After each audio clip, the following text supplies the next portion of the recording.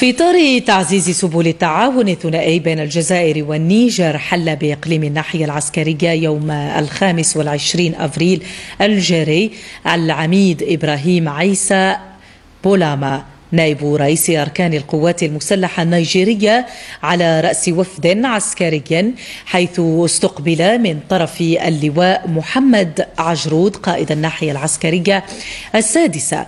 خلال هذه الزيارة ترأس اللواء محمد عجرود اجتماعا تنسيقيا مع الوفد النيجيري الضيف بحضور اللواء بالقاسم حسنات رئيس دائرة الاستعمال والتحضير لأركان الجيش الوطني الشعبي وإطارات سامية من الجيش الوطني الشعبي تباحث فيه الطرفان سبل التجسيد الميداني للمقاربة الأمنية التي تتبناها القيادة العليا لجيش لجيشي البلدين في مجال مجابهة مختلف أشكال التهديدات الأمنية على رأسها مكافحة الإرهاب والجريمة المنظمة العابرة للحدود وكذا الهجرة غير الشرعية.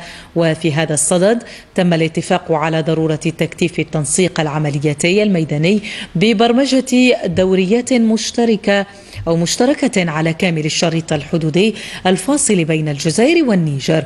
خلال هذا الاجتماع أكد العميد إبراهيم عيسى بولاما على تطابق رؤى وتحاليل قيادتي البلدين بخصوص القضايا الأمنية الراهنة. كما يختنم السانحة ليؤكد أن بلاده على استعداد تام لتعزيز أواصر التعاون العسكري الثنائي. في ختام اللقاء أمضى الطرفان على محضر الاجتماع وتبادلا هدايا رمزية ليوقع بعدها نائب رئيس أركان القوات المسلحة النيجيرية على السجل الذهبي للناحية العسكرية السادسة.